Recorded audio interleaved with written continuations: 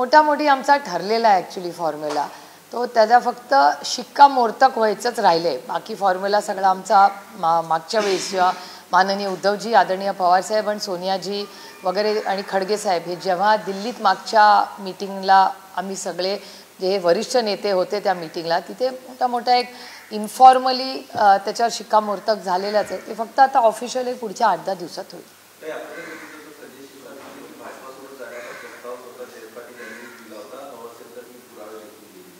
त्यांना काय माहिती असेल हो मी एक लहान कार्यकर्ती आणि माझा सगळा फोकस मायबाप जनतेची सेवा माझा लोकसभा मतदारसंघ आणि पार्लमेंटमध्ये असतो. आणि मला बेरोजगारी महागाई पाण्याचे महाराष्ट्राचे प्रश्न ह्याच्यात मी इतकी व्यस्त असते की मला बाकीच्या फारशा माहिती नसतात. पा ठाकरे सर याच्यासाठी पाहिलं की महाराष्ट्र लुटण्यासाठी भाजप आणि ठाकरे सरकार पाहिलं. असा त्यांचा आरोप आहे.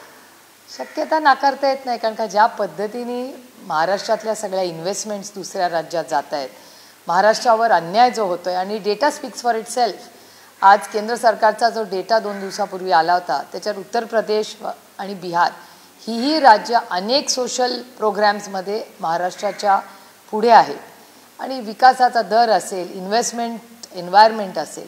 हे महाराष्ट्रापेक्षा बऱ्याच राज्यांमध्ये जास्त आहे असाच केंद्र सरकारचाच डेटा दाखवतो.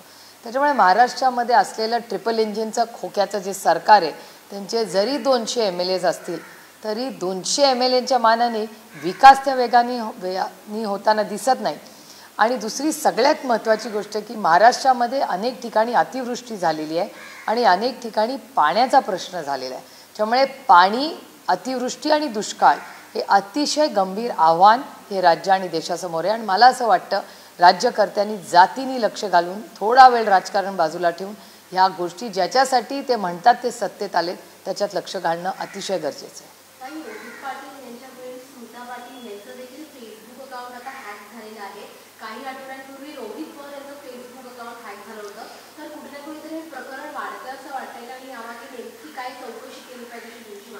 होम मिनिस्ट्री काय करते? सगळे विषय सायबर क्राईमचे हे होम मिनिस्ट्रीच्या अंडर येतात.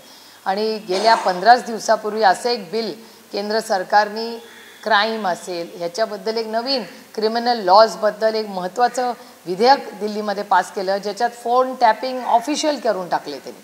म्हणजे ह्या देशामध्ये प्रायव्हसी किंवा अभिव्यक्ती स्वातंत्र्य हे आता कमी कमी होताना दिसतंय. त्याच्यामुळे दुर्दैव आहे की एकीकडे असे दडपशाहीसारखे निर्णय होत आहेत आणि आजकालची नवीन पिढी जे ऑफिशियली पारदर्शकपणे त्यांची मतं मांडतात त्यांची अकाउंट्स हॅक होत आहेत त्याच्यात अर्थातच अपयश हे गृहमं मंत्रालयाचं हे दिसतं आणि सातत्याने तुम्ही बघाल आ म्हणजे देवेंद्रजी टू पॉईंट ओ हे जेव्हापासून गृहमंत्री झाले तेव्हापासून तुमच्याच चॅनलवर दिसतंय की क्राईम वाढला आहे आणि तुमचा आणि त्याच चॅनलवरचा डेटा म्हणतो की महाराष्ट्रातला का क्राईम वाढलेला आहे.